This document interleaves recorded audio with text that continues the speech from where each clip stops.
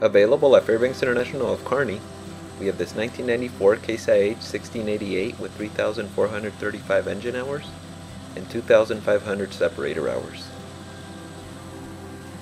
The drive tires are Goodyear 24.5 by 32s. And the steering tires are Goodyear 14.9 by 24s.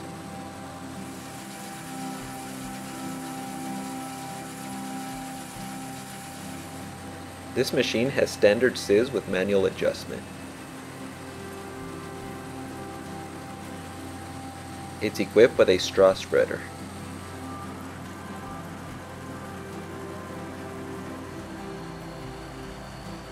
It also has a grain bin extension and a 172 inch unloading auger.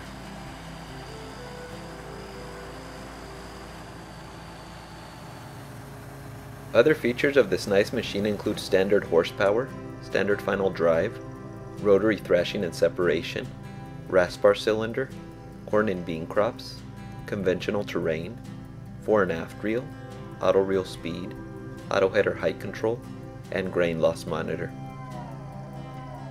This combine has also had $30,000 in repairs in the last couple years.